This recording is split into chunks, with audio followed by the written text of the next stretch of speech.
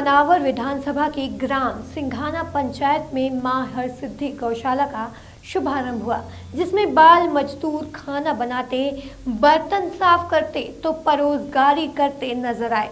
आयोजन में कई आला अफसर, कलेक्टर सहित विधायक भी मौजूद रहे। मध्य प्रदेश में नेताओं व अधिकारियों के संरक्षण में हो रही बाल मजदूरी का ऐसा ही वाक्य बुधवार को सरकार की सबसे पहली माँ हरसिद्धि गौशाला के शुभारंभ अवसर पर देखने को मिला, जिसमें स्थानीय विधायक डॉक्टर हीरालाल अलावा धार कलेक्टर श्रीकांत बनोट पुलिस अधीक्षक आदित्य प्रताप सिंह मौजूद रहे, जिसमें केटरिंग के रूप में बाल मजदूर काम करते नज़र आए।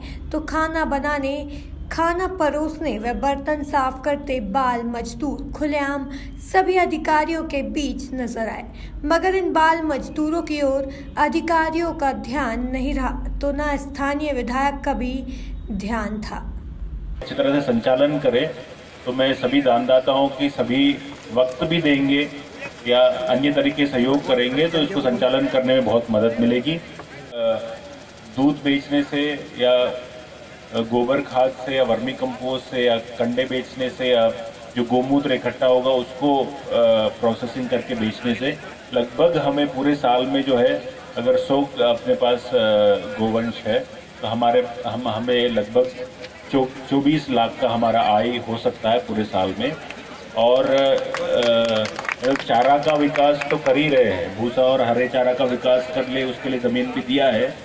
लेकिन उसके अतिरिक्त भी गोवंश पे जो भी खर्च आएगा, शायद वो हमने अनुमानित लगाया कि आठ लाख ऐसे में किस तरह बाल मजदूरी पर रोक लगेगी? शिक्षा के नाम पर करोड़ों रुपए खर्च, सरकार के पैसे बेकार साबित हो रहे हैं। कुछ दिनों पूर्व मनावर व सिंघाना में बाल मजदूरी पर जा रहे पिकअप वाहनों को पकड़कर करीब 138 बाल मजदूरों को छुड़वाया था। अब चाइल्ड हेल्पलाइन, महिला बाल संरक्षण व बाल श्रमिक विभाग की कार्यवाही पर प्रश्न चिन्ह लग रहा है। क्या उन्हें कलेक्टर के आदेश पर कार्यवाही की जाएगी या खुद के निर्णय से इस खबर के बाद ऐसे कार्यक्रम में जिन्होंने बाल मजदूर भेजे, उन पर कार्यवाही होती है या जिन्होंने उन्हें बुलाया, उस पंचायत के खिलाफ कार्यवाही होती है, यह देखना है।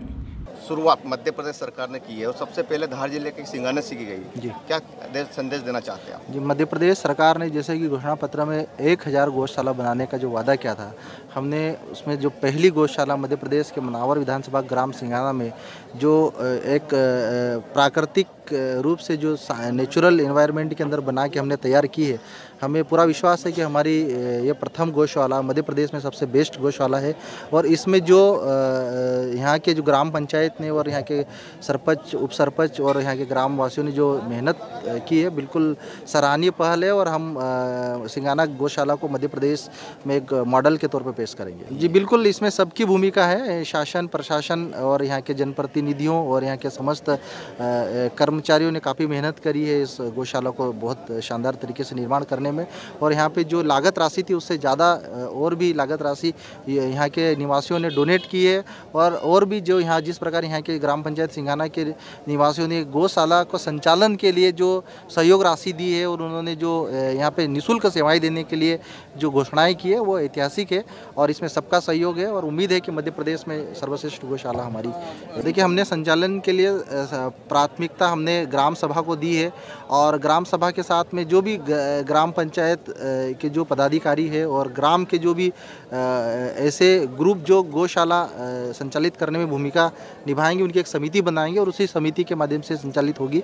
और इसके माध्यम से साथ में जो भी बेरोजगारों को एक रोज़गार मिलेगा और साथ में एक जैविक खेती की तरफ़ से हम जैविक खेती को प्रोत्साहित करने के लिए हम लोग प्रयासरत हैं। धार ज़िले में जो पशु गणना हुआ था लगभग 3,250 हमारे आवारा पशु गोवंश है। तो उनके लिए हमारे ज़िले में तैंतीस गौशालाएँ बनने हैं और प्रथम चरण में तेरह गौशालाएँ तेरह ब्लॉक्स में धार में बन रहे हैं। और आज सिंघाना में जो मनावर ब्लॉक में आता है वहाँ पे सबसे पहले ये लोकार्पण हुआ है और बहुत ही उत्कृष्ट गौशाला यहाँ पे बनाया जो भी एस्टिमेट है उससे भी बहुत सुंदर यहाँ पे गौशाला बनाया और मुझे पूरा विश्वास है कि यहाँ पे जो गौशाला के संचालन भी इतना ही उत्कृष्टता से होगा।